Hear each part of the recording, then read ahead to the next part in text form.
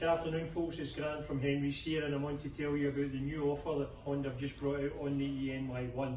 They are now giving you up to £8,000 deposit contribution on this lovely all electric car. Let's go and have a wee look at the car.